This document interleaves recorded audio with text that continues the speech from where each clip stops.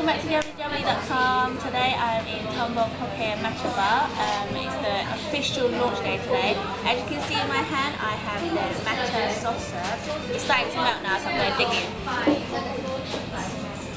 Wow, it really is soft. And there's like matcha powder sprinkled on top.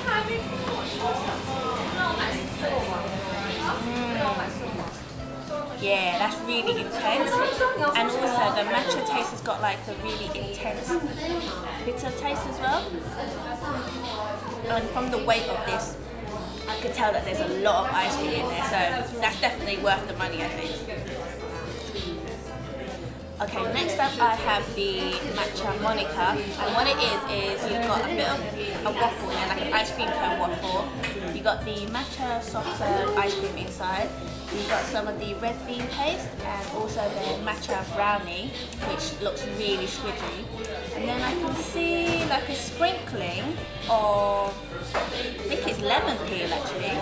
So I'm gonna try, I think I'm gonna try the brownie and I'm to blob some of the ice cream on there. Oops. Hey guys.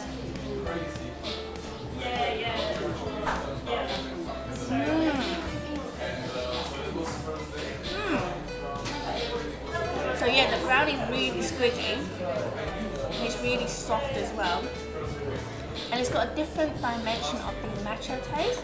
It's not as bitter as the soft serve, but it's definitely got um, the matcha taste in it.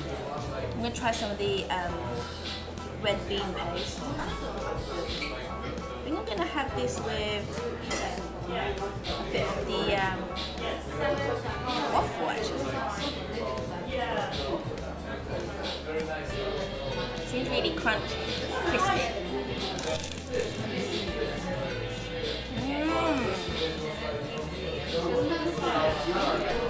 Oh, that's really nice.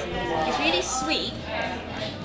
Um, and added with the red bean paste and the soft serve matcha ice cream, that's a really good combination because you've got like this soft ice cream together with like the crispy waffle as well. Okay, so I'm finishing my time here at Tombo today. Um, whilst I'm going to tuck into my soft serve, I can let you know that I think that is really good and it's definitely worth you coming out to give it a try. Um, if you like my video, don't forget to give me a thumbs up, subscribe down below to keep updated with our future videos, check out yummyjubbly.com and also don't forget to keep eating. Bye!